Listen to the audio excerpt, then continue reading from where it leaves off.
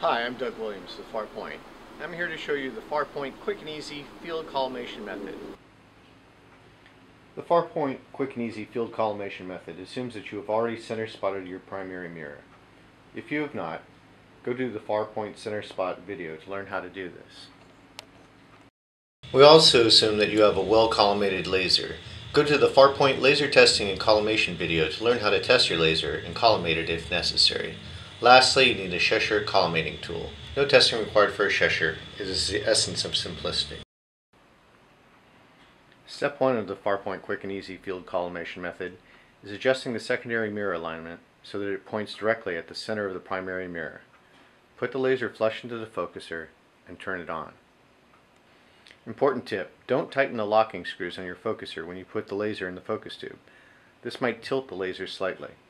The laser moves away from being flush when you let go. Simply hold it flush or have a friend hold it flush. If the laser won't stay flush and you have no helper and you simply must use the focuser locking screws, do so very gently.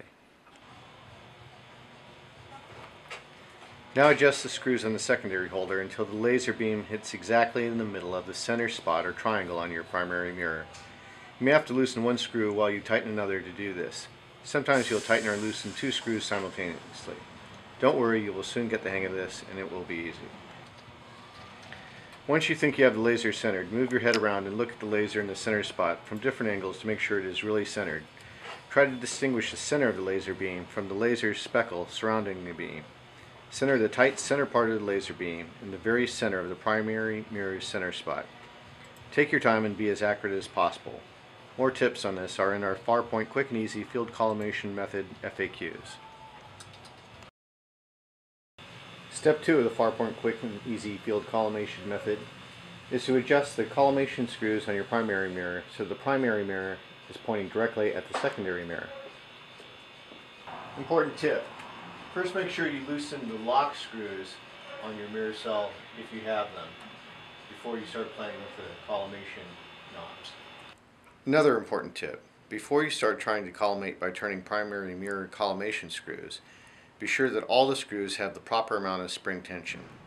If a collimation screw is too tight or too loose, you won't be able to collimate. Make sure that all screws have room to move in either direction, but they should be mostly tight. A good starting guess would be to tighten them all the way down and then back off two turns. Weak collimation springs in the primary mirror cell are a common problem. Replace them with stronger springs if necessary. Farpoint sells replacement springs for many scopes. To collimate the primary mirror, adjust the collimation screws until the return beam of the laser comes back upon the outgoing beam. You don't have to be exact.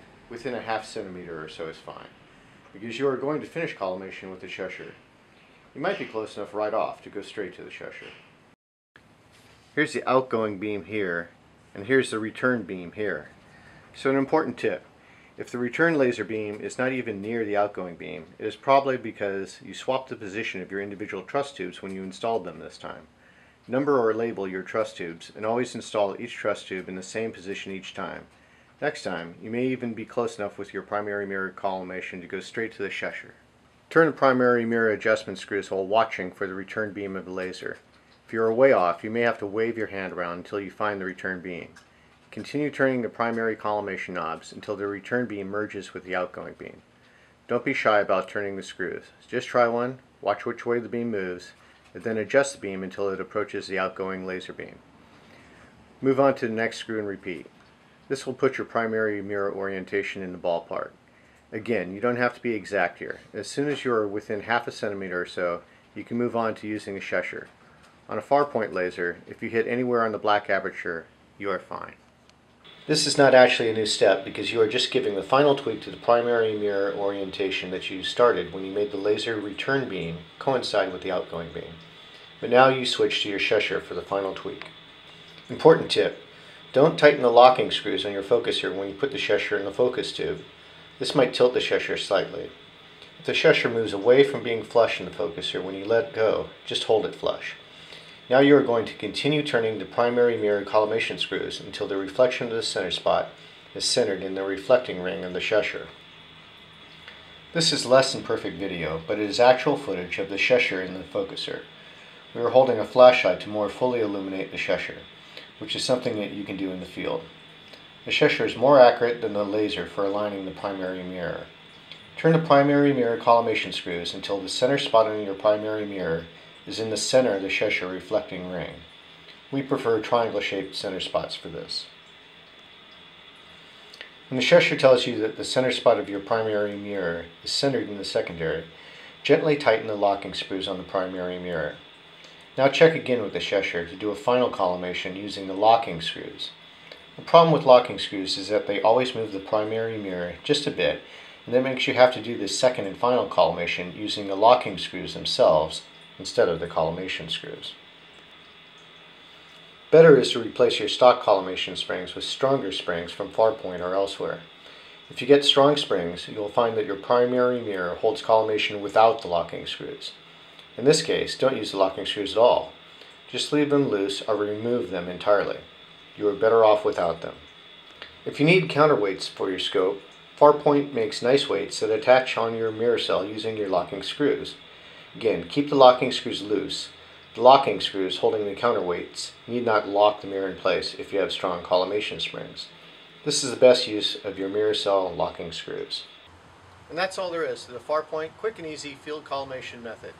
Now practice this a few times in your living room at home before you go out observing next time. You'll be able to spend more time observing and less time collimating.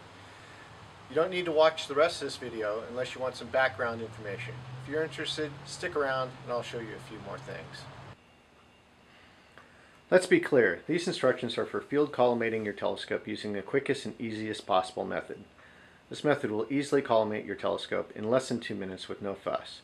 Further, your collimation will be better than 99% of the reflectors you see at an average star party. We go to star parties and see too many people spending entirely too much time collimating, only to achieve substandard results. This is understandable given the poor instructions that come with many scopes. The internet has a wealth of information, but sorting the good from the bad is a daunting task. If you want more information than what is in this video, Farpoint has a collimation FAQ web page. It has background information and explains why we chose this Farpoint collimation method over other methods. But I'm trying to keep this video short and sweet, so I won't go over that here. The Farpoint Quick and Easy Field Collimation method is quick, easy, and 99.5% accurate. For most observers using an average quality reflector, that last fraction of a percent is undetectable at the eyepiece, even with a star test. If you have a premium reflector with zero structural flex, and you wish to chase that last fraction of a percent, Farpoint will cover how to do so in other videos and instructions. Then you can worry about squaring the focuser, offsetting the secondary, calculating the sweet spot, adjusting the z-axis, using an auto collimator, and all those other gremlins that the collimation experts chase all the time. Some of these fine adjustments are made at home or in a shop. You do them before you go to your observing site. The rest of these fine adjustments are done when you field collimate. Hint, when you collimate at your observing site with these advanced methods, you're still going to start with the Farpoint Quick and Easy field collimation method and then refine things from there. So practice this method until you are proficient before you move on to optional advanced collimation techniques you will probably find that you don't need to bother with advanced collimation techniques because you can't see any difference at the eyepiece. The problem is that these advanced methods take time and they make collimation look too difficult for novices to understand. So they throw up their hands in despair and trade in their reflector for a refractor or SCT because they often mistakenly believe that the refractor or SCT will never need collimation. But reflectors are great they are without rival when you consider aperture per dollar and image quality per dollar.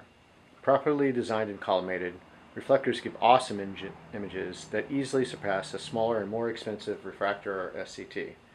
Collimating a reflector is actually easy. I just did it. Here's a final helpful hint. If you line the primary mirror in the mirror cell so that the triangle points orient with the collimation screws, it will be easier to figure out which collimation screw to turn and in what direction to turn it. You can even make a label like Tighten to move towards 4 o'clock, or something like that. This is unnecessary, but it can make things easier for some people. Okay, thanks for making it through this video. You could have collimated six Dobs by now. The whole point of the Farpoint Quick and Easy Field Collimation method is to get you out there observing in the quickest possible time instead of spending all your night collimating. So get out there and observe.